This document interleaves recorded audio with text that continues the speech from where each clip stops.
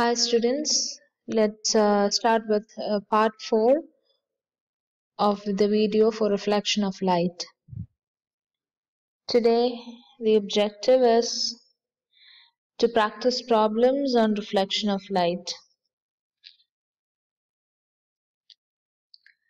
First you have the fill in the blanks. First question is the point at which the incident ray falls on the mirror is called point of incidence. It's called the point of incidence. Second question. If a ray of light is incident on a plane mirror at an angle of 300, its angle of reflection is so the light is incident on a plane mirror at an angle of 300 degree. By law of reflection, we know that angle of incidence is equivalent to angle of reflection. So the angle of reflection will also be 300. Third question. If a ray of light is incident normally on a mirror, I is equivalent to and R is equivalent to. You have to write the value of angle of incidence and angle of reflection. It says that the light ray is incident normally. When the light ray is incident normally, there is no angle between the normal and the incident ray, normal and the reflected ray. So that means the angle is going to be 0. So I is equivalent to 0 and R is equivalent to 0. The image of our face in a plane mirror is an example of dash image. So this is uh, for the plane mirror. What type of image is formed on a plane mirror? It's a virtual image. So the face that the image of the face that you see in your plane mirror is a example of virtual image. Fifth question. The distance of the image behind the plane mirror is dash to the distance of the object in the front of it. So uh, when we learned the characteristics of the plane image formed in the plane mirror, we said that the image and the object are located at the same distance from the plane mirror. That means the distance of the image behind the plane mirror is equal to the distance of the object in front of it. These are the answers. First answer is points of point of incidence. Second one 300. Third one I is equal to 0 and R is equal to 0. Fourth one virtual. Fifth one equal. Now going into the next question.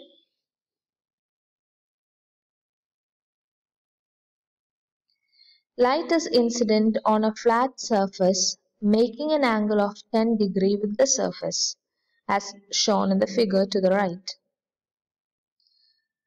What is the angle of incidence? What is the angle of reflection? Sketch the path of the reflected beam on the diagram.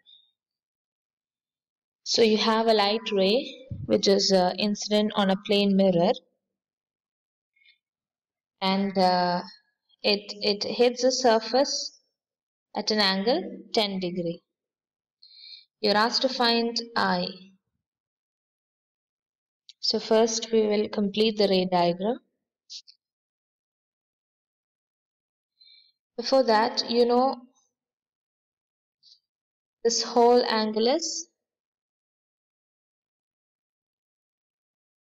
90 degree. So what will be the angle of incidence? Angle of incidence will be 90 minus 10 that is 80 degree.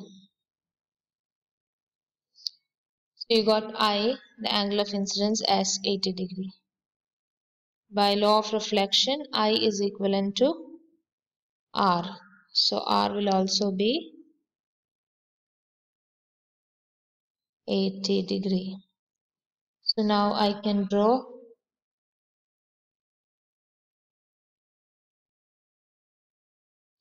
the reflected ray. This is a reflected ray making an angle 80 degree.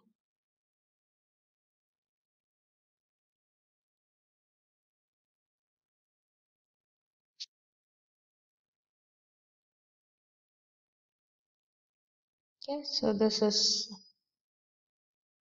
also 80 degree and this is also 80 degree that's the answer so the answer is clearly given here for part A, if the light makes an angle of uh, 10 degree with the surface, it makes an angle of 80 degree with the normal to the surface. Therefore, the angle of incidence is 80 degree. Part B, to find angle of reflection. Uh, according to the law of reflection, the angle of reflection is equivalent to the angle of incidence. So the angle of reflection is 80 degree. Third one, a path C, the path of light is shown in the figure. Coming to the next question. Figure shows two rays of light point from, uh, from a point P on an object O. These rays are incident on a plane mirror. Continue the path of the two rays after they reach the mirror. Hence, locate the image of the object O. So this is uh, this is the object and two light rays are falling onto the plane mirror, you're asked to find the or you are asked to locate the image. So we already have learned the steps for finding the image. So first you have two ray diagrams. So I'm going to draw the reflected ray. So for here this is a normal and for this ray this is a normal and the reflected ray will be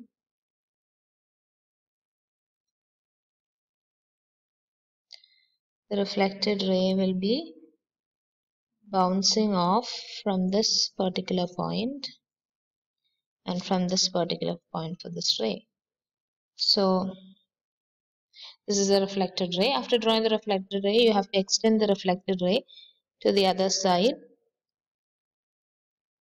with with dotted lines and the point where the dotted lines meet this is a point and this is the image so this is the answer. You have the incident ray and the reflected ray for each incident ray. It is extended to form the image. Now coming to the next question. A woman is standing in front of the plane mirror at a distance of 3 meter away from the mirror having a height of 1.5 meter.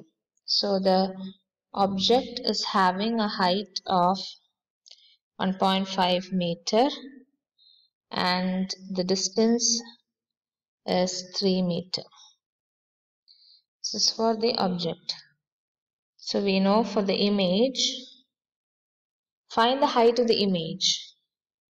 So we know height of the object is equivalent to height of the image. So height of the image will be 1.5 meter. Find the distance at which the image is formed. We know distance of the object is equivalent to distance of the image. That is, distance of the image is equivalent to 3 meters. Hope that is clear. Thank you.